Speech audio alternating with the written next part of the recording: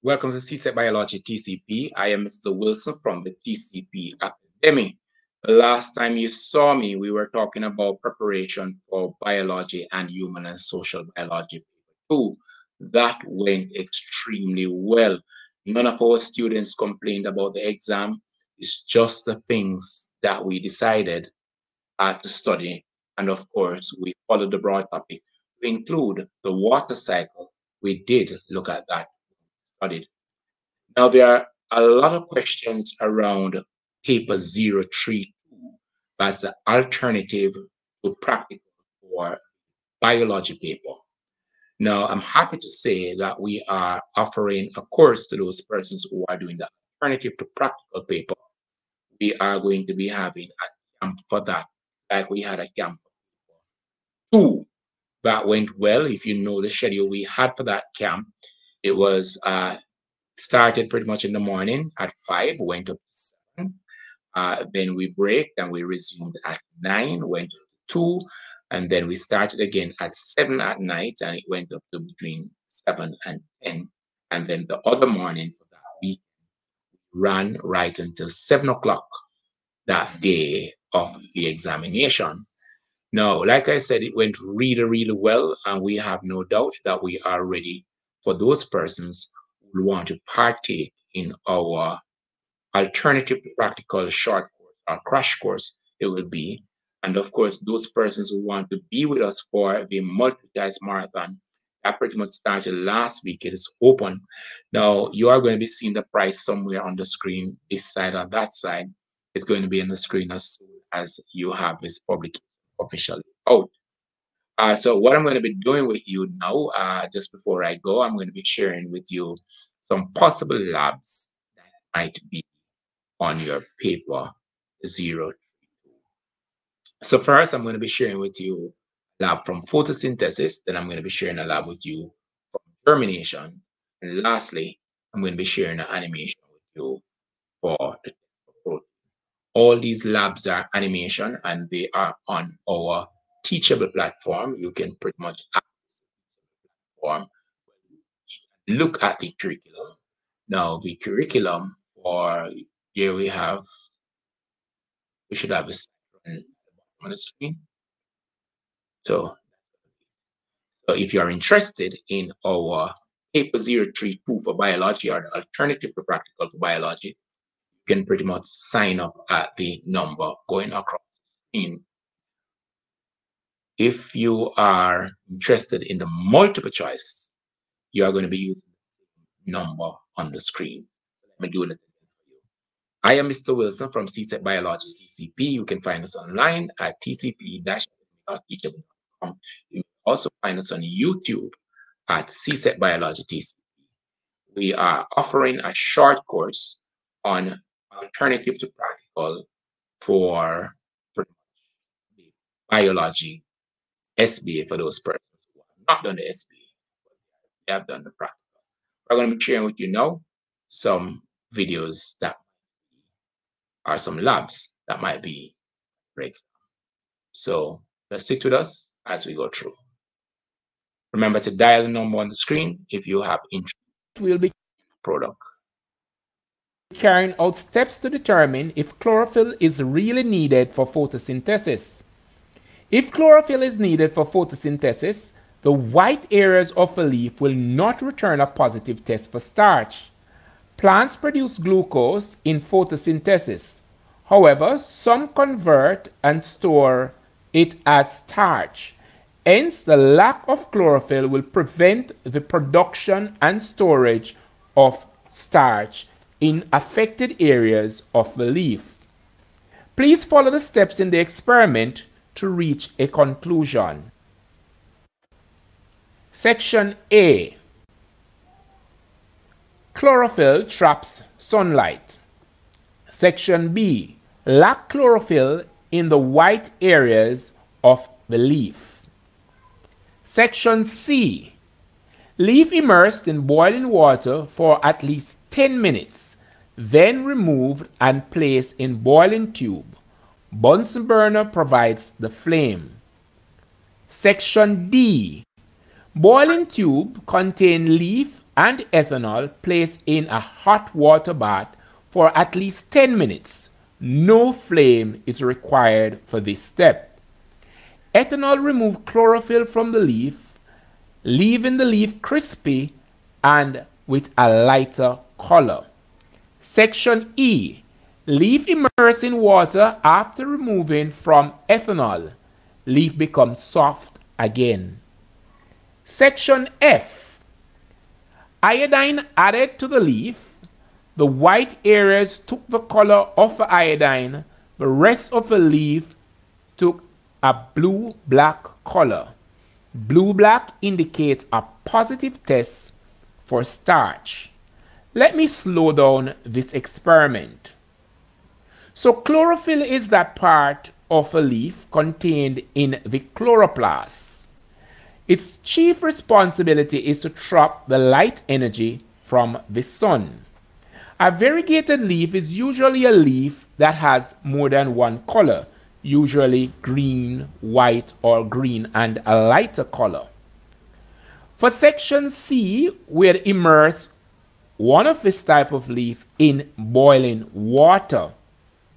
There you can see the beaker and the beaker is on a tripod stand with a Bunsen burner and you can see the flame going there. The water is being boiled. In section D, the leaf is immersed in a boiling tube. Now this boiling tube contains ethanol and it is placed in a water bath because water boils at 100 degrees Celsius while ethanol would boil at somewhere 78 degrees Celsius. Hence, if the boiling tube were supposed to be placed over open flame, there would be a high possibility that we would have a fire causing an accident in your lab. Section E the leaf is placed in water as the leaf was very crispy having been removed from the ethanol. Then the leaf was placed on a white tile in section F where iodine was added to the leaf. The white areas took the red-brown color of the iodine indicating that there was no starch present in the white area. However, the other areas of the plant changed color to blue-black. A blue-black indicates a positive test for starch. Hence, for this experiment, based on our result, it is clear that chlorophyll is needed for photosynthesis. Thanks much for watching. Please remember to like, share, and subscribe. And when you do, remember to hit that notification bell.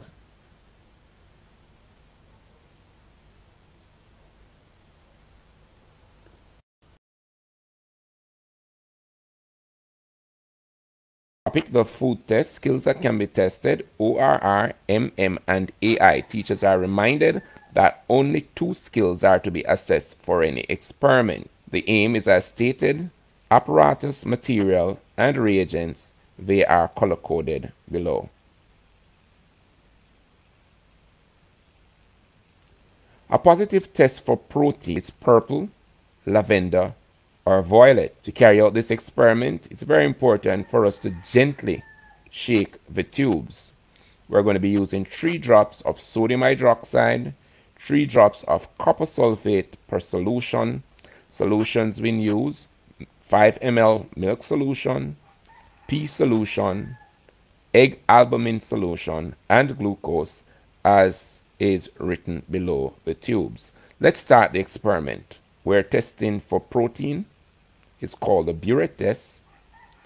That's the first drop of sodium hydroxide. Second drop of sodium hydroxide.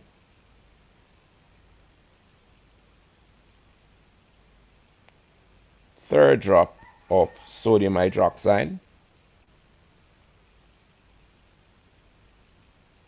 Now we'll be adding the copper sulfate first drop of copper sulfate.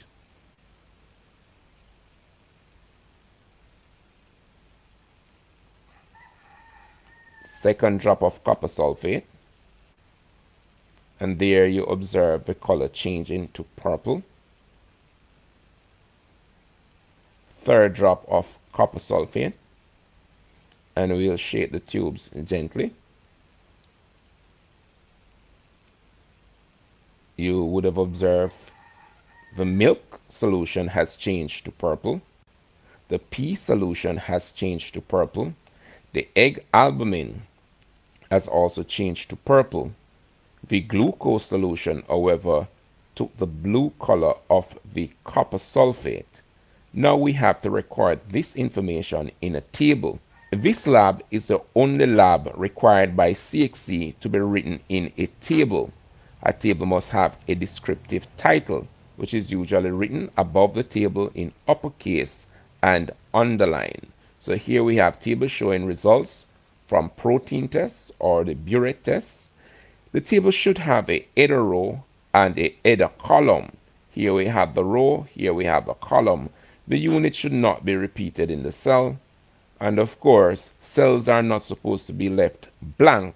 Where there is a blank cell, there should be a hyphen in that cell so that data will not be entered by error. So this is an example of what is expected in the write-up. The milk solution, we use three drops of copper sulfate, three drops of sodium hydroxide.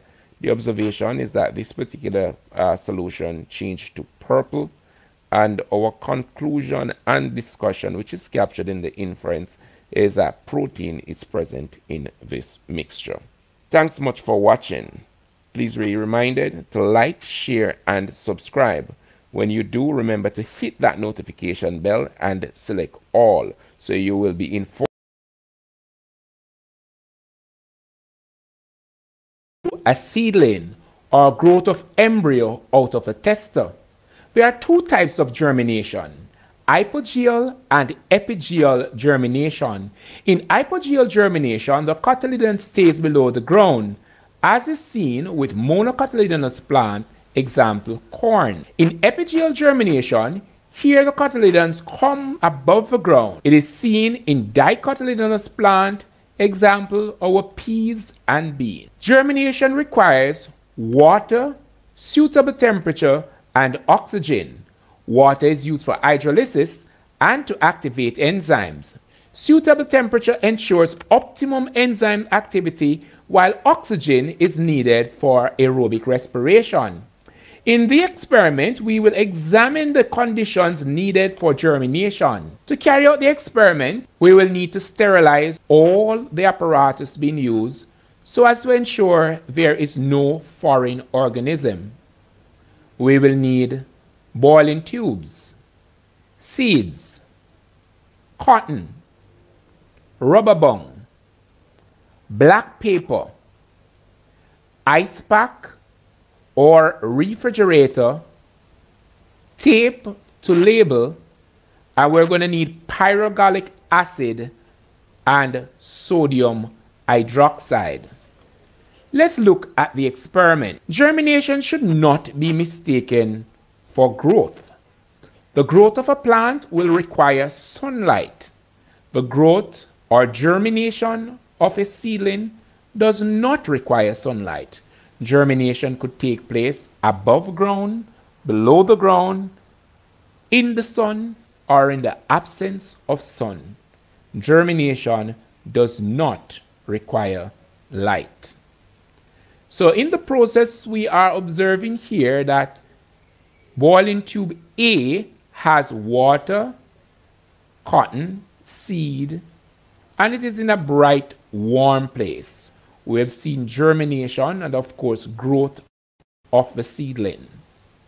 Test tube B is in a ice pack or could be placed in a refrigerator. It has wet cotton, seeds, ice, cotton, and of course, it's in a dark condition. Test tube C has wet cotton, seeds, and it too is in a dark condition. Test tube D contains pyrogallic acid and sodium hydroxide in a bright, warm condition. It is important to note that the cotton in this boiling tube is also wet. Important to note, however, pyrogallic acid and sodium hydroxide is used in this experiment to remove oxygen from this environment. Test tube E is used as a control. The cotton is dry. A control is that part of the experiment that is used to verify the result. The outcome with the control is normally known, hence it forms a suitable gauge to the experiment. I hope that you did look at the experiment, but if you'd miss out on the experiment, we will go through the experiment again. So this is what the setup looked like, and here we go into the experiment to see what actually happened.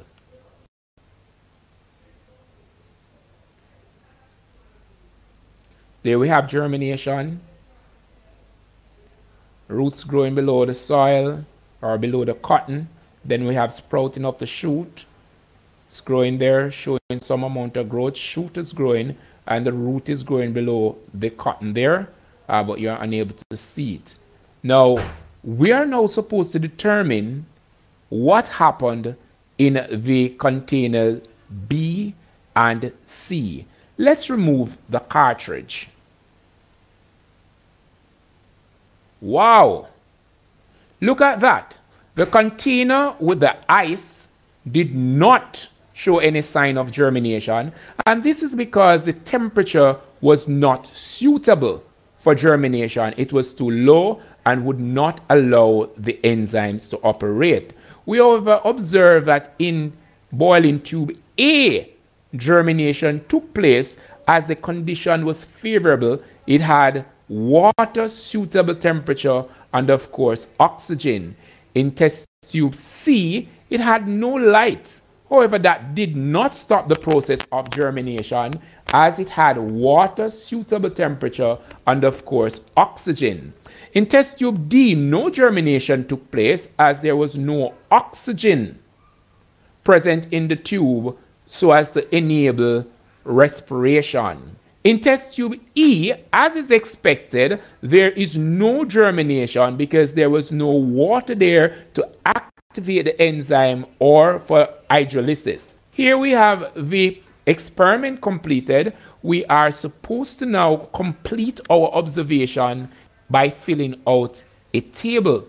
So we know A germinated, we know C germinated. I do hope you were watching the video, if you did not see the conditions and what germinated, please go through the video again. Pay attention to what is written below the tubes and that will help with your observation and of course discussion. So here we have the table partially completed. You're supposed to look at your experiment and complete the table. So for those part that the condition was present, you're going to put a tick and the parts where it was absent, of course, you, you're going to put a X. The conclusion for this lab is that water, suitable temperature, and of course oxygen is needed for the process of photosynthesis. Thanks much for watching. Please be reminded to like, share, and subscribe and when you do, remember to hit that notification bell so you'll be informed